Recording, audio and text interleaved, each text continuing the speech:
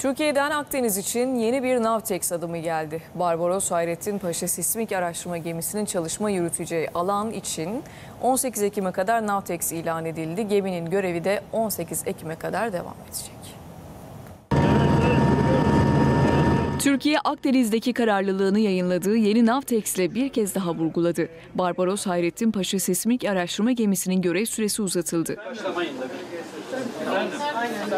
Barbaros Hayrettin Paşa Sismik Araştırma Gemisi ile ilgili olan Navtex'in süresi doluyordu. Türk Deniz Kuvvetleri Hidrografi ve Oşinografi Dairesi Başkanlığı tarafından yeni Navtex ilan edildi. Barbaros Hayrettin Paşa Sismik Araştırma Gemisi'nin çalışma yürüteceği alan için 18 Ekim'e kadar sürecek yeni Navtex duyuruldu. İlanla geminin görevinin 18 Eylül'den 18 Ekim'e kadar uzatıldığı açıklandı. Barbaros Hayrettin Paşa gemisi Doğu Akdeniz'de Kıbrıs açıklarında ilan edilen bölgede sismik çalışmalarını yürütecek. Tanux 1 ve Apollo Moon isimli gemiler de ona eşlik edecek.